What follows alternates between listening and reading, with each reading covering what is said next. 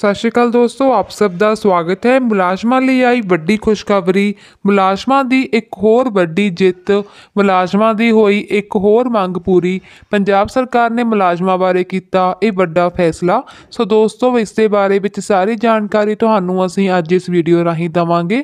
Video ਸ਼ੁਰੂ ਕਰਨ ਤੋਂ ਪਹਿਲਾਂ ਜੋ ਵੀ ਦੋਸਤ ਇਸ ਚੈਨਲ ਤੇ ਨਵੇਂ ਆਏ ਹਨ, ਜਿਨ੍ਹਾਂ ਨੇ ਇਸ ਚੈਨਲ ਨੂੰ ਹਲੇ ਤੱਕ ਸਬਸਕ੍ਰਾਈਬ ਨਹੀਂ ਕੀਤਾ ਹੈ, ਤਾਂ ਹਰ ਇੱਕ ਲੇਟੈਸਟ ਅਪਡੇਟ ਲੈਣ ਦੇ ਲਈ ਇਸ ਚੈਨਲ ਨੂੰ ਸਬਸਕ੍ਰਾਈਬ ਜ਼ਰੂਰ ਕਰਨਾ ਜੀ।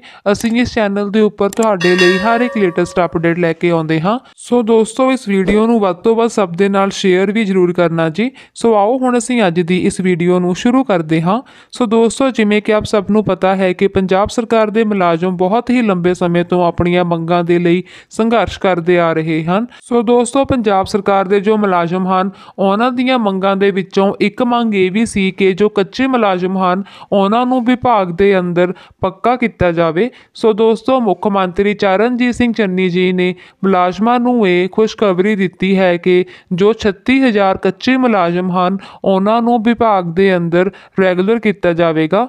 ਜੀ ਹਾਂ ਦੋਸਤੋ, ਮੁੱਖ ਮੰਤਰੀ ਚਰਨਜੀਤ ਸਿੰਘ ਚੰਨੀ ਜੀ ਵੱਲੋਂ ਕੈਬਨਿਟ ਮੀਟਿੰਗ ਵਿੱਚ ਇਹ ਫੈਸਲਾ ਲਿਆ ਗਿਆ ਹੈ ਕਿ 36000 ਕੱਚੇ ਕਰਮਚਾਰੀਆਂ ਨੂੰ ਵਿਭਾਗ ਦੇ ਅੰਦਰ ਰੈਗੂਲਰ ਕੀਤਾ ਜਾਣਾ ਹੈ। ਸੋ ਇਸ ਦੇ ਬਾਰੇ ਵਿੱਚ ਜੋ ਵੀ ਨੋਟੀਫਿਕੇਸ਼ਨ ਹੋਏਗਾ, ਉਹ ਵਿਧਾਨ ਸਭਾ ਵਿੱਚ ਪੇਸ਼ ਹੋਣ ਤੋਂ ਬਾਅਦ ਜਾਰੀ ਕਰ ਦਿੱਤਾ ਜਾਵੇਗਾ। ਸੋ ਦੋਸਤੋ, ਇਹ ਵਾਲੇ ਮੁਲਾਜ਼ਮਾਂ ਦੇ ਲਈ ਬਹੁਤ ਹੀ ਖੁਸ਼ੀ ਦੀ ਗੱਲ ਹੈ, ਕਿਉਂਕਿ ਕਾਫੀ ਲੰਬੇ ਸਮੇਂ ਤੋਂ ਕੱਚੇ ਮੁਲਾਜ਼ਮ ਆਪਣੀਆਂ ਮੰਗਾਂ ਨੂੰ ਪੂਰਾ ਕਰਾਉਣ ਦੇ ਲਈ ਲਗਾਤਾਰ ਸੰਘਰਸ਼ ਕਰਦੇ ਆ ਰਹੇ ਹਨ।